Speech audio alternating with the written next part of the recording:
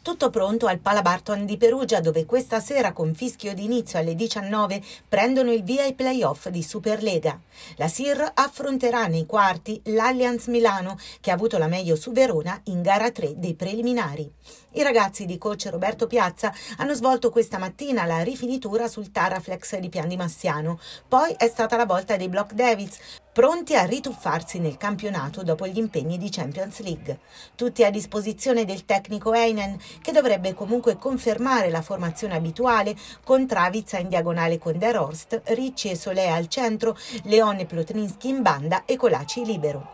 Anche Piazza, coach di Milano, dovrebbe confermare la squadra vincente nello spareggio con Verona di sabato scorso, con Sbertoli al palleggio, Patri opposto, Cosamernic e Matteo Piano centrali, Ishikawa e Urnau out schiacciatori e Pesaresi libero.